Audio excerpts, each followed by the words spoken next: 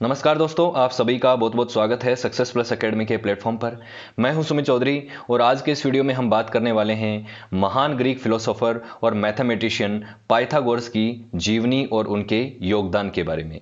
तो जब भी बात आती है पाइथागोरस की तो आप सभी के दिमाग में एक परमे, एक थ्योरम ज़रूर क्लिक करती होगी, जिसको हम क्लास एट्थ से पढ़ते आ रहे हैं कि एक राइट एंगल ट्राइंगल में हाइपोटेनियस का जो स्क्वायर है, वो बेस के स्क्वायर और परपेंडिकुलर के स्क्वायर के सम के बराबर होता होता है। ये वाली थ्योरम जो है सभी ने पढ़ी है क्योंकि बहुत इंपॉर्टेंट थ्योरम है। जियोमेट्री की बात करें, चाहे ट्रिग्नोमेट्री की बात करें, ये थ्योरम सब जगह काम में आती है। एक आधारभूत प्रमेय है एक तरीके से ये।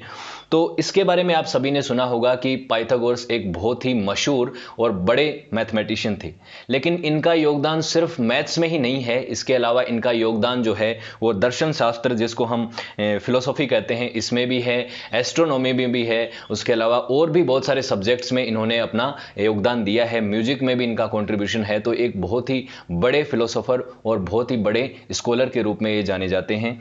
तो जब भी बात आती है एंशियंट ग्रीक फिलोसोफर फिलोसोफर्स की वेस्टर्न फिलोसॉफी में तो उसमें बहुत सारे फिलोसोफर्स हैं जिनको हमें पढ़ना है और बहुतों को हमने पढ़ भी लिया है। तो ये तिगड़ी जो है जो शुरू होती है सोक्रेटिस, प्लेटो और एरिस्टोटल से, इन तीनों की बायोग्राफी हम ऑलरेडी कवर कर चुके हैं और इनके जो शिष्य हैं, अलेक्जेंडर द ग्रेट, जो कि एक महान राजा के रूप में जाने जाते हैं, सिकंदर महान जिनको विश्व विजेता हम कहते हैं, उनकी बायोग्राफी भी कर ली है और आज हम बात करेंगे पाइथागोरस की। तो पाइथागोरस भी एक महान फिलोसोफर के रूप में और मैथमेटिशियन के रूप में जाने जाते हैं। आज जानते हैं कि इनके जीवन में क्या कुछ घटित हुआ और क्या क्या इनके कॉन्ट्रीब्यूशन रहे, किस तरीके की जीवन इन्होंने बिताया क्या क्या इनका योगदान है, सब चीज़ों को डिटेल में चर्चा करेंगे। तो सबसे पहले पाइथागोरस थ्योरम की ही बात कर लेते हैं। जिन लोगों को पाइथागोरस थ्योरम याद नहीं है, बहुत पहले पढ़ी थी तो वो आज देख लीजिए। ये थ्योरम लगती है एक राइट एंगल ट्राइंगल में। राइट एंगल ट्राइंगल जिसका एक एंगल कम से एक एंगल क्या होता है? 90 डिग्री होता है। तो एक 90 डिग्री वाला ट्राइंगल जो है, जिसको राइट एंगल ट्राइंगल कहते हैं, उसमें तीन साइड हैं और जो 90 डिग्री के सामने की साइड होती है, उसको बोलते हैं हाइपोटेनियस ठीक है? हिंदी में बोलते हैं इसको कर्ण। ठीक है।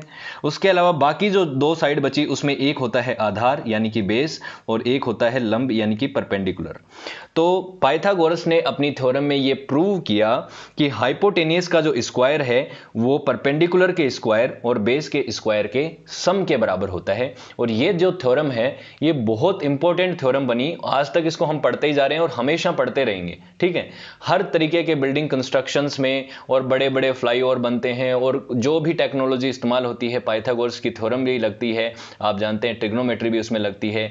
छह ट्रिग्नोमेट्रिक जो फ़ंक्शंस हैं, जिसमें साइन थीटा कोस थीटा वगैरह होते हैं, उन सभी का आधार है ये थ्योरम, ऐसे ही ये थ्योरम नहीं है। तो ये एक इंपॉर्टेंट थ्योरम है, इस वजह से हम पाइथागोरस को जानते हैं, लेकिन इनका बाकी भी योगदान रहा है। किस किस फ़ील्ड में इनका योगदान रहा है?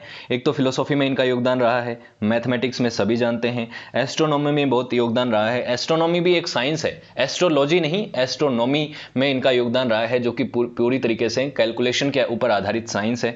उसके अलावा मेटे मेटेम साइकोसिस जिसको है बोलते हैं, जो एक तरीके से स्पिरिचुअल वर्ल्ड की बात करते हैं, परमात्मा के साथ आत्मा का मिलन और आफ्टर लाइफ रिकॉर्नेशन की जो बात होती है, साइंटिफिक वर्जन जो है उसका, उसको बोलते हैं मेटेम मेटेम साइकोसिस इसमें भी इनका योगदान रहा है। मिस्टिसिज्म में भी इनका योगदान रहा है। थ्योरी ऑफ़ म्यूज़िक पे भी इन्होंने बात की है। म्यूज़िक और मैथमेटिक्स, ये दो इनके सबसे फेवरेट सब्जेक्ट हुआ करते थे। इन दोनों को ये एक ज़रिया मानते थे कि अगर आपको स्पिरिचुअल वर्ल्ड से पूरी तरीके से कनेक्ट होना है तो आपको दो ही रास्ते अपनाने होंगे। या तो आप मैथमेटिक्स के थ्रू जुड़ सकते हैं, पूरे के पूरे ब्रह्मांड से उसके साथ अपना रेजोनेंस स्टैब्लिश कर सकते हैं, और दूसरा रास्ता है आपका म्यूज़िक का। तो म्यूज़िक से से या फिर मैथ से ही आप एक डायरेक्ट आत्मा और परमात्मा का कोऑर्डिनेशन बिठा सकते हैं, ऐसा मानना था पाइथागोरस का। तो आप ये सोचिए, मैथ्स को कितना हाइयर इन्होंने दर्जा दिया है। तो इस सब, इसलिए सबको मैथ्स पढ़नी चाहिए। और एक बात मैं बताऊँ, आपको जितनी भी स्टडी होती है दुनिया भर में, किसी भी लेके इंटेलेक्ट को इंटेलेक्ट को जो कलेक्ट एक तरीके से सॉरी इंटेलेक्ट को जो मेजर करने वाली जो चीज़ें हैं, जैसे आईक्यू टेस्ट वगैरह होते हैं, उसमें ज़्यादातर जगह आपको एक चीज़ कॉमन मिलती है कि जो मैथ्स पढ़ने वाले लोग हैं, जो स्कॉलर मैथ्स को पढ़ते हैं, उनका जो माइंड है वो थोड़ा सा ज़्यादा शार्प होता है। एक स्टडी के तहत ही मैं आपको बात बता रहा हूँ। क्यों होता है ऐसा? मैथ्स आपके माइंड को पजल सॉल्विंग बनाता है, उसको एक्सपैंड करता है। आपके माइंड की जो सीमाएँ हैं, उनको एक्सपैंड करता है। इसीलिए मैथ्स को ज़्यादा ऊँचा दर्जा दिया जाता है ज़्यादातर जगह। ठीक है? उसके अलावा पाइथागोरियन जो विचार हैं, उनके ये फाउंडर माने जाते हैं। अब बात करते हैं जो पाइथागोरस के जो कुछ कुछ फ़ेमस कोट्स हैं, जिनसे आप उनको समझ पाएँगे कि वो किस तरीके के व्यक्तित्व थे, उनकी थोड़ी सी बात करते हैं, उसके बाद इनके जीवन पे चलते हैं। पहली, पहला जो कोट है वो है बी साइलेंट और let the word be words be worth more than silence तो एक कहते हैं ना कि साइलेंस एक बहुत पावरफुल वेपन है। कहा कहा जाता है ये बात आपने सभी ने सुनी होगी। तो इन्होंने क्या कहा इस बात में ही, आप इसको समझिए, इन्होंने कहा कि या तो चुप रहिए। अगर आप चुप नहीं रहना चाहते हैं और कुछ बोलना चाहते हैं तो आपका बोलना उस साइलेंस से तो ज़्यादा वर्थ रखना चाहिए, वरना चुप ही रहना ज़्यादा बेटर है। ठीक है? तो साइलेंस से ज़्यादा अच्छे आपके पास शब्द हैं तो ही बोलिए, वरना मत बोलिए। दूसरी बात इन्होंने कही if there is be light then there be, there is darkness. If cold, there is heat. If height, there is depth. यानी कि सिक्के के दो पहलू होते हैं। अगर कहीं पे लाइट है तो वहाँ अंधेरा भी रहेगा। अगर कहीं पे सर्दी है तो वहाँ गर्मी भी रहेगी। कहीं पे हाइट है तो कहीं डेप्थ भी होगी। कहीं सॉलिड है तो कहीं फ्लूड भी है। ये देखिए, एक बात है कि जैसे अगर आप सिर्फ़ मीठा खाता रहें, खाते रहें तो आपको ये कैसे पता चलेगा कि कड़वा क्या होता है? अगर आप कड़वा और मीठा दोनों टेस्ट करते हैं, तभी आपको पता होता है कि ये मीठा है और ये कड़वा है। अगर एक ही चीज़ को खाते रहें तो आपको उसका नाम ही नहीं पता होगा कि वो क्या चीज़ है। तो इसीलिए हम कोल्ड और हीट जो है, वो क्या है? रेस्पेक्टिव चीज़ें हैं ना? कि ये ठंडा है, ये गर्म है। रेस्पेक्ट में ये इसके कंपैरिजन में ठंडा है, ये इसके कंपैरिजन में गर्म है, ये इसके कंपैरिजन में ऊँचा है, ये इसके कंपैरिजन में गहरा है। तो सब चीज़ें क्या हैं? रिलेटिव हैं। रिलेटिव हैं, इसीलिए कह रहे हैं कि कहीं अगर कोई कुछ हार्ड है तो कहीं सॉफ्ट भी है, कुछ रफ है तो कुछ स्मूथ भी है, कुछ काम है तो कुछ टेम्प टेस्ट भी है। इस तरीके से इन्होंने बातों को कही है। कहीं एडवर्सिटी प्रोस्पेरिटी है तो कहीं एडवर्सिटी भी है, कहीं गरीबी है, कहीं अमीरी है। ये सब चीज़ें हैं मतलब एक ही चीज़ें साथ साथ चलती रहती हैं। ऐसा नहीं है कि अगर आप सिर्फ़ ये कहें कि हमेशा प्रोस्पेरिटी ही रहनी चाहिए, ऐसा नहीं हो सकता पॉसिबल दोनों ही चीज़ें चलती रहेंगी, एक बैलेंस हमेशा चलता रहेगा। उसके बाद इन्होंने कही no one is free who has not obtain the empire of himself no man is free who can not command himself हम कहते हैं कि जैसे हम कहते हैं ना, हम आज़ाद हैं। 1947 में देश आज़ाद हो गया। लेकिन हर व्यक्ति क्या अपने आप से आज़ाद है? क्या समाज के बनाए हुए रूढ़ीवादी परंपराओं से आज़ाद है? क्या खुद के बनाए हुए खुद अपने विचारों से आज़ाद है? विचार मतलब ऐसे विचार हैं कि वो आज़ाद है। क्या आप अपने आप को पूरी तरीके से आज़ाद समझते हैं? एक आज़ाद व्यक्ति तो होना सिर्फ़ देश के मतलब किसी सरकार के ही हाथ में नहीं होता, उसके एक बड़े मायने हैं, उनको इन्होंने समझाने की कोशिश करी है। उसके बाद इन्होंने कहा है, a man is never as big as when he is on his knees to help a child. एक व्यक्ति जो अपने घुटनों पे एक बच्चे की मदद करने के लिए झुका है, उससे बड़ा कोई हो नहीं सकता। कहा जाता है ना कि घुटनों पे झुकने को एक कमज़ोरी का उदाहरण दिया जाता है, लेकिन यहाँ क्या कह रखा है कि घुटनों पे बैठा वो व्यक्ति जो किसी की मदद के लिए झुका है, उससे बड़ा तो कोई हो ही नहीं सकता। उसके बाद इन्होंने कहा है man is mortal by his dreams and immortal by his desires तो एक व्यक्ति मोर्टल है, यानी नश्वर है अपने सपनों से और अपनी डिज़ायर से वो क्या है? इमोर्टल है मतलब अमर है। ये इस तरीके की बातें पाइथागोरस ने कहा है तो आप उनके समझ सकते हैं, उनके माइंड के स्टैंडर्ड को समझ सकते हैं कि पाइथागोरस किस तरीके के व्यक्ति थे। अब जानते हैं कि पाइथागोरस कौन थे। कहाँ से आए थे, कहाँ पैदा हुए, कहाँ उनकी डेथ हुई, कहाँ उन्होंने अपनी शिक्षा, एजुकेशन दी। तो pure mathematician, first pure mathematician के रूप में इनको जाना जाता है पाइथागोरस को। और ये जो पाइथागोरस थ्योरम हम बात करते हैं, राइट एंगल ट्राइंगल वाली ये जो थ्योरम है, इसका ऐसा माना जाता है कि बेबुल बेबीलोनियंस जो थे, वो 1000 साल पहले ही जानते थे कि पाइथागोरस थ्योरम, ये जो थ्योरम है, ये कि ऐसा होता है कि हाइपोटेनिस का स्क्वायर जो है, वो इन दोनों के स्क्वायर के सम के बराबर होता है। बेबीलोनियंस ये जानते थे। उनके कंस्ट्रक्शन में ये चीज़ दिखती है, उनके जो कल सिस्टम है उनका, जो उनकी सभ्यता थी बेबीलोनियन की, उससे पता लगता है कि वो जानते थे, लेकिन वो कभी प्रूव नहीं कर पाई और प्रूव कौन कर पाया? पाइथागोरस कर पाई ठीक। उसके बाद इन्होंने, पाइथागोरस ने अपने एक नए विचार रखे। फिलोसॉफी में इन्होंने, स्पिरिचुअलिटी में काफ़ी सारे कॉन्सेप्ट दिए। उसके अलावा गवर्नमेंट की फॉर्म के ऊपर इन्होंने काफ़ी बातचीत की। अपनी एजुकेशन का एक सिस्टम निकाला और एक नया way founder of a new way of life इन्होंने लोगों को दिया। उसके अलावा इनके पॉलिटिकल और रिलीजियस टीचिंग जो थी, वो माने जाते हैं कि ये जो फिलोसोफर्स आगे हुए प्लेटो एरिस्टोटल वगैरह, इनके, इनको भी इन्होंने इन्फ्लुएंस किया। आपको मैंने जब प्लेटो की बायोग्राफी बताई थी तो मैंने कहा था कि पाइथागोरस से काफ़ी इन्फ्लुएंस्ड थे प्लेटो उसके बाद प्लेटो के शिष्य बने एरिस्टोटल और एरिस्टोटल भी पाइथागोरस से काफ़ी इन्फ्लुएंस थे और बहुत अच्छे मैथमेटिशियन होने की वजह से भी ये लोग इनको ज़्यादा मानते थे। तो इनका एक प्रभाव था बाकी फिलोसोफर्स पे। तो इसीलिए इनके विचारों को कहा जाता है मैग्ना ग्रेशिया ग्रीक फिलोसोफर्स के ऊपर इनका एक बहुत सुपीरियर प्रभाव था। उसके बाद बात करते हैं कि आगे चल के, बहुत पाइथागोरस ने भी जो सिर्फ़ पाइथागोरस थ्योरम नहीं दी, पाइथागोरियन टर्निंग भी दी इन्होंने, फ़र्स्ट फाइव रेक्टेंग सॉलिड्स की भी बात इन्होंने की रेगुलर सॉलिड्स की इन्होंने बात की theory of proportional the spherical sphericity of earth की बात की। हालाँकि अर्थ स्पीयर नहीं है ये अंडाकार है लेकिन इन्होंने स्पीयर सिटी की बात करी जो कि एक क्लोजेस्ट वर्जन है स्पीयर का ए, इसका सॉरी अंडाकार होने के अलावा स्पीयर की बात इसके बाद क्लोजेस्ट थी। फ्लैट वगैरह अर्थ या चौकोर तो नहीं बताई ना कम से कम इन्होंने अंडाकार स्पेरिकल बताई। उसके बाद जो मॉर्निंग और इवनिंग स्टार है जिनको हम विनस स्टार कहते हैं ध्रुव तारा जो है जो हम बोलते हैं जो सॉरी विनस स्टार जो है विनस प्लैनेट जो है उसकी बात भी इन्होंने की कि ये मॉर्निंग और इवनिंग स्टार से इनको ये नाम इन्होंने दिया। उसके बाद पाइथागोरस जो हैं, उन्होंने प्लेटो को इन्फ्लुएंस किया और उनके जो डायलॉग्स हैं, प्लेटो ने अपनी लाइफ में 36 डायलॉग लिखे। 36 डायलॉग्स में से एक डायलॉग है टाइमियसियस टाइमेसियस जो है, इसमें पाइथागोरस की टीचिंग्स के बारे में प्लेटो ने डिस्क्राइब कर रखा है कि वो किस तरीके के एजुकेटर हुआ करते थे, किस तरीके के स्कॉलर हुआ करते थे। अब इनके जन्म के ऊपर आ जाते हैं। ऐसा माना जाता है कि लगभग 570 बीसी में समोस नाम की एक जगह थी ग्रीस में। पहले हम इसी की बात कर लेते हैं कि ग्रीस कहाँ है, समोस कहाँ है। तो ये है हमारा भारत और भारत के वेस्ट में यहाँ पे पड़ता है ग्रीस। आज तो एक छोटा सा देश है, ग्रीस, जिसको हम यूनान भी कहते हैं हिंदी में। लेकिन एक समय पे ये बहुत बड़ा साम्राज्य हुआ करता था। ये है ग्रीस, और ग्रीस ये येलो कलर में दिख रहा है, ये सारा ग्रीस है। और ये एशिया माइनर जो है, ये आज के समय टर्की वाला हिस्सा है, ये भी इनका हिस्सा हुआ करता था। ये है समोस आयरलैंड ठीक है, ये समोस आइलैंड है, यहाँ पे जन्म हुआ था पाइथागोरस का। और ये ग्रीस की बात चली रही है तो एक समय ऐसा था जब अलेक्जेंडर द ग्रेट ने इतना बड़ा साम्राज्य बना दिया था। मैसिडोनिया में जन्म हुआ था अलेक्जेंडर द ग्रेट का। ये है मैसिडोनिया यहाँ पे। और उस समय, उसके बाद अलेक्जेंडर ने अपने ज़िंदगी में अगले 12 साल में, लगभग 19-20 साल की उम्र में वो बने थे राजा, और 32 साल की एज में तो उनकी डेथ ही हो गई थी। और उनके बाद उन्होंने पर्शिया, इधर इजिप्ट और इन सभी बड़े बड़े साम्राज्यों को इन्होंने हरा के अपने राज्य में मिला दिया। और वो भारत तक आए थे। आप जानते हैं, भारत में एक जो राजा थे, पोरुस, उनके साथ उनका युद्ध भी हुआ था। बैटल ऑफ़ हाइडस पीस के नाम से जानते हैं। हिंदी में हम उसे झेलम नदी का युद्ध कहते हैं। झेलम के किनारे हुआ था, इसलिए यहाँ तक आया था। लेकिन बाद में अलेक्जेंडर की डेथ के बाद ये अंपायर फिर से छोटे छोटे राज्यों में बट गया कि इसके जो गवर्नर थे अलेक्जेंडर के, उन्होंने इन राज्यों को अपने अपने हिस्सों में बांट लिया। तो चार हिस्सों में मेनली ये बट गया था, जिसको हेलिनिस्टिक पीरियड कहा जाता है।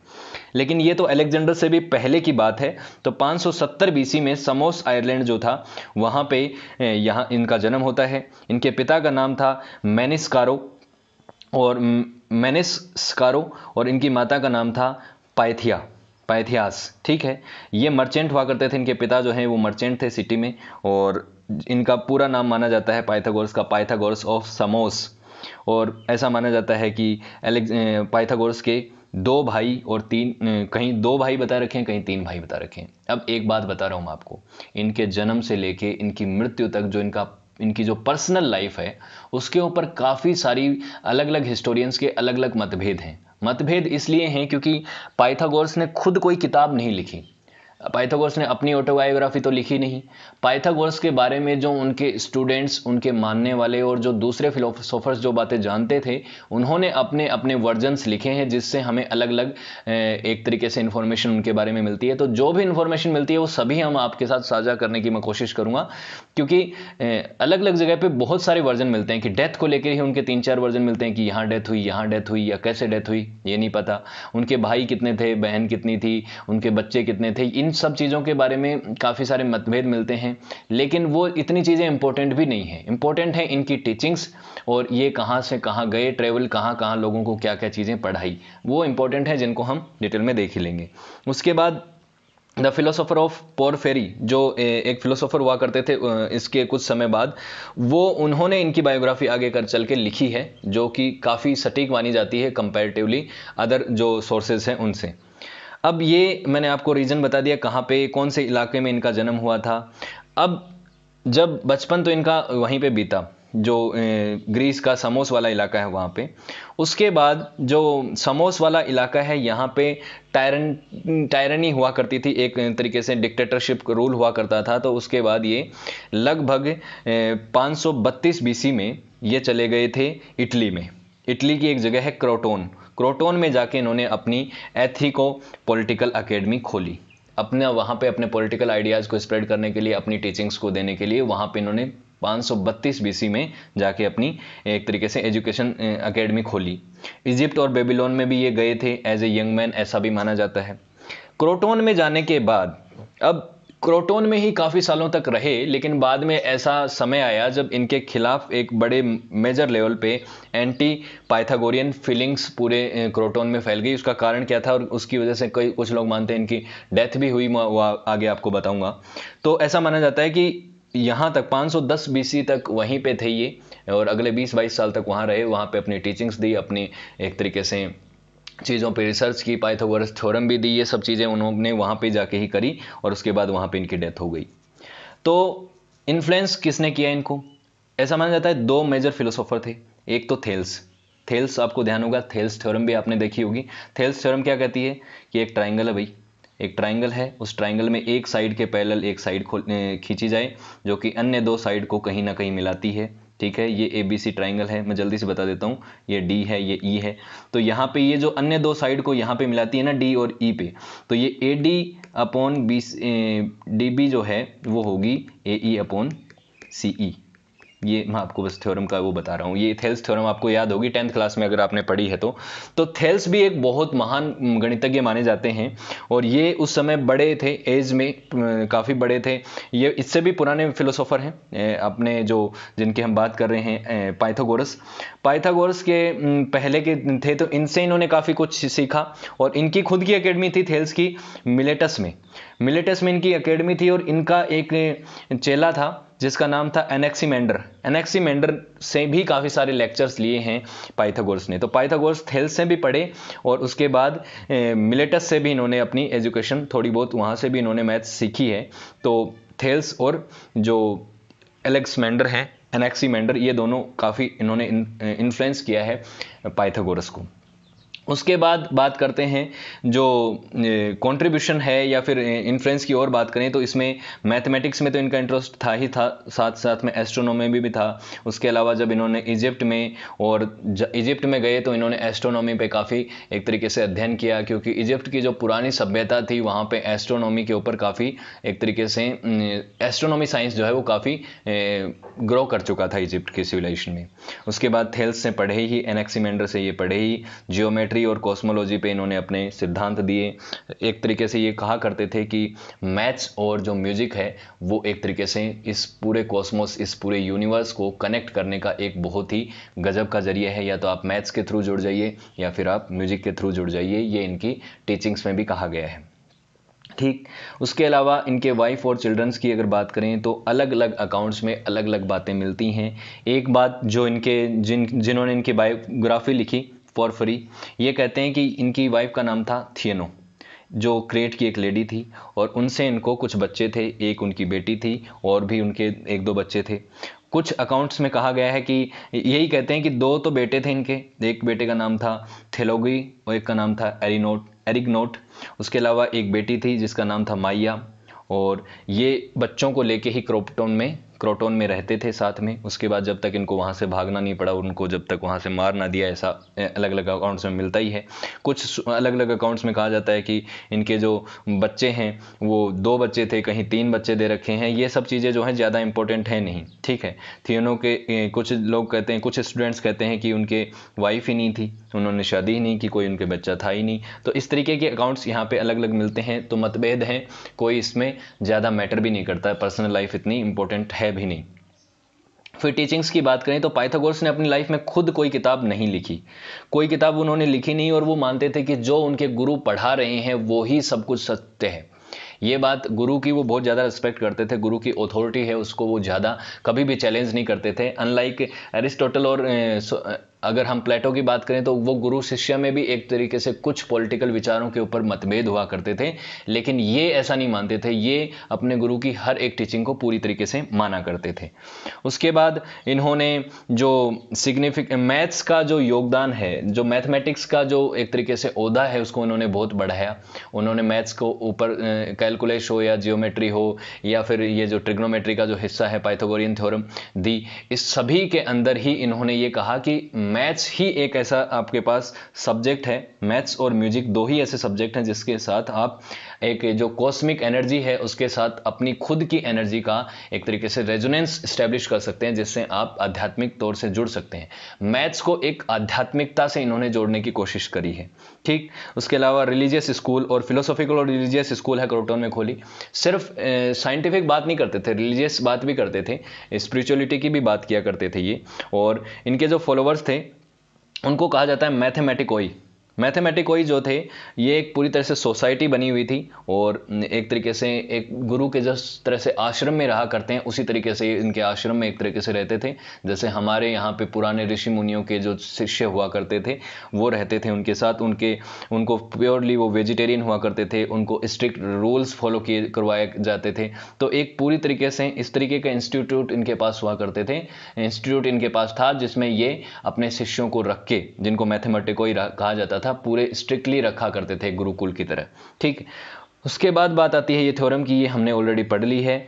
और लास्ट में हम इनके बिलीफ की बात करते हैं कि बिलीफ किसमें करते थे कि मैथमेटिक्स को ये रियलिटी से कनेक्ट करते थे कि नेचर के हर एक हिस्से में आप मैथमेटिक्स मैथमेटिकली उसको, उसके रीजन्स को प्रूव कर सकते हैं। मैथमेटिक्स जो है, उसको काफ़ी ज़्यादा ये एक तरीके से मानते थे, उसको ऊपर एक तरीके से ऊँचा दर्जा देते थे। हर एक डीपेस्ट लेवल पे मैथमेटिक्स को आप एक तरीके से कनेक्ट कर सकते हैं, ऐसा इनका मानता, मानना था। और कहते थे कि फिलोसॉफी का जो यूज़ है, वो स्पिरिचुअल प्योरिफिकेशन के लिए भी हो सकता है। सिर्फ़ पॉलिटिकल विचारधारा नहीं है फिलोसॉफी आप ये मत सोचिए कि फिलोसॉफी का इस्तेमाल सिर्फ़ पॉलिटिकली होगा, उसका स्पिरिचुअल प्योरिफिकेशन के लिए भी हो सकता है। उसके अलावा इन्होंने जो डिवाइन के साथ कनेक्ट करने का तरीका बताया म्यूज़िक और मैथमेटिक्स का, वो मैंने आपको बताया दिया। मिस्टिक सिंबल्स के सिग्निफिकेंस की भी ये बात करते थे और जो स्ट्रिक्ट लॉयल्टी और सेक्रेसी की भी बात करते थे कि लॉयल होना कुछ रिश्तों में या सेक्रेट होना जो एक दो रिश्तों के बीच की जो गरिमा है उसको बचा के रखने के लिए वो भी एक इम्पोर्टेंट है। That all brothers that other should observe strict royalty and secrecy हर तरीके से जो दो लोगों के बीच की जो बॉन्डिंग है उसको वो सेक्रेट रहना चाहिए लॉयल होना चाहिए, इन सब चीज़ों के बारे में भी अपनी टीचिंग्स में इन्होंने बताया है। अब बात आती है एंटी पाइथागोरियन रिबेलियंस की। ये क्यों हुआ? कि पाइथागोरस के भी कोई खिलाफ क्यों था? वो तो एक मैथमेटिशियन थे, वो तो एक फिलोसोफर थे। लोग इनके खिलाफ क्यों थे? इसके दो रीजन हैं। एक रीजन तो ये है, पहले हम इस बात को समझते हैं कि जब पाइथागोरस क्रोटोन में रहा करते थे, क्रोटोन में रहते थे तो क्रोटोन के पड़ोसी में एक स्टेट हुआ करता था, जिसका नाम था साइब्रिसिस। साइब्रिसिस साइब्रिस जो है, इसको 510 में क्रोटोन ने एक लड़ाई में हरा दिया और इसको कैप्चर कर लिया। साइब्रिस को इन्होंने अपनी कॉलोनी बना लिया। और इन्होंने एक तरीके से उसको हरा दिया था। उसके बाद क्या है कि ये जो क्रोटोन के लोग थे और साइब्रिस के जो लोग इकट्ठा हुए तो इन्होंने ये विचार आया इनके दिमाग में, क्यों ना हम एक डेमोक्रेटिक कॉन्स्टिट्यूशन लेके आए? मतलब डेमोक्रेसी को इस्टेब्लिश करना चाहते थे ये लोग। तो पाइथागोरस इस आइडिया के बिल्कुल खिलाफ थे। देखिए, आप प्लेटो की बात करें, पाइथागोरस की बात करें या सोक्रेटिस की बात करें, ये लोग तीनों ही डेमोक्रेसी में बिलीव नहीं करते थे। ये डेमोक्रेसी को ज़्यादा अच्छी सरकार नहीं मानते थे। हालाँकि अगर आज आप मॉडर्न वर्ल्ड में देखो तो डेमोक्रेसी फॉर्म ऑफ़ गवर्नमेंट जो है, उसको सबसे अच्छी गवर्नमेंट माना जाता है। बाकी कंपैरिजन में चाहे मोनार्की हो, चाहे डिक्टेटरशिप हो या फिर कोई और सरकार हो ओलियोग्रेसी ओलियोग्रेसी हो, सभी में डेमोक्रेसी को सबसे अच्छी सरकार माना जाता है और उसका कोई अच्छा उससे बेहतर विकल्प अभी तक है नहीं। लेकिन ये जो great philosophers ancient Greece फिलोसोफ Greek philosophers थे, ये डेमोक्रेसी को इतना ज़्यादा तवज्जो देते नहीं थे।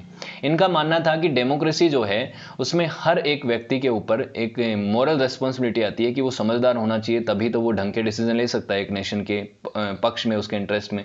लेकिन हर आदमी इतना पढ़ा लिखा नहीं है, इतना समझदार नहीं है तो इसीलिए डेमोक्रेसी जो है, वो एंड ऑफ़ द डे एक बेवकूफ़ों की सरकार बन जाएगी, ऐसा इनका मानना था। तो इसीलिए डेमोक्रेसी के आइडिया को पूरी तरीके से रिजेक्ट करते थे। और अलग अलग जो लोग हैं, उसमें, जो इनका मानना था कि जो रूलर है वो फिलोसॉफिकली बेनवेलेंट होना चाहिए, लेकिन डेमोक्रेसी नहीं होना चाहिए, ऐसा मानना था इनका।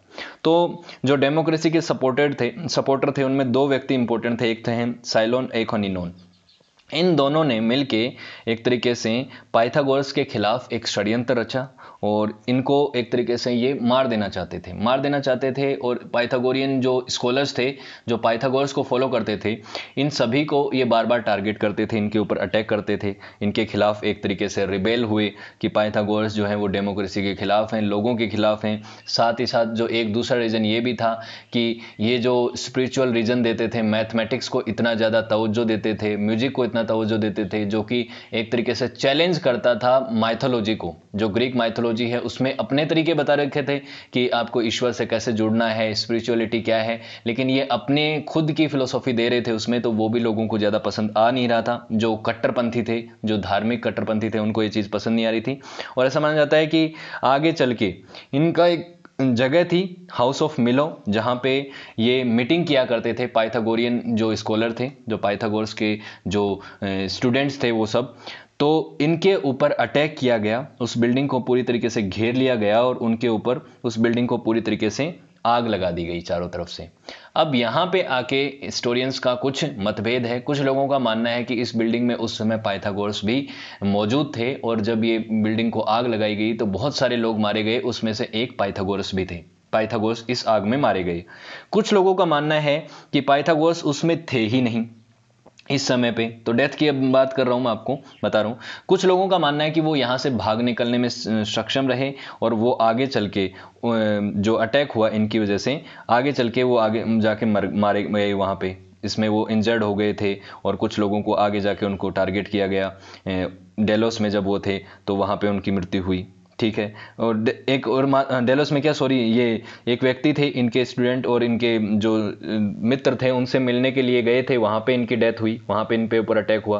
कुछ लोगों का मानना है कि ये वहाँ से निकल गए थे, ये जो अटैक हुआ था, जो बिल्डिंग पे अटैक हुआ था और पाइथागोरियंस को मारा गया था, वहाँ से निकल गए थे और निकलने के बाद ये एक जगह पहुँचे थे जिसका नाम है मेटापोंटम मेटापोंटम में जाके एक मंदिर में ये छुप गए थे और वहाँ पे इनको खाने को कुछ भी नहीं मिला। और 40 दिन तक ये भूखे पैसे रहने की वजह से इनकी डेथ हो गई थी, स्टारवेशन की वजह से इनकी डेथ हो गई थी। तो डेथ को लेकर काफ़ी सारे अलग अलग कॉन्फ्लिक्ट हैं अलग अलग हिस्टोरियंस अलग अलग बातें करते हैं, जो कि ज़्यादा इंपॉर्टेंट नहीं है। बेसिकली बात यह है कि लगभग 500 से लेके 490 बीसी के बीच में मेटापोंटम नाम की जगह इटली में है। वहाँ पे इनकी डेथ हो गई थी ये लगभग माना जाता है, ऐसा ये जो एविडेंस हैं, ये कहते हैं, पूरी तरीके से क्लियर नहीं है कि इनकी एग्जैक्टली डेथ कब हुई। ठीक है? तो ये है हमारे पाइथागोरस की जीवनी और उनका कंट्रीब्यूशन होपफुली आपको सारी चीज़ें क्लियर हुई होंगी। अगर वीडियो आपको अच्छा लगा तो लाइक और शेयर तो कर ही सकते हैं और आने वाले वीडियोज़ को देखने के लिए चैनल को सब्सक्राइब भी कर सकते हैं। So thank you so much for watching this video see you next class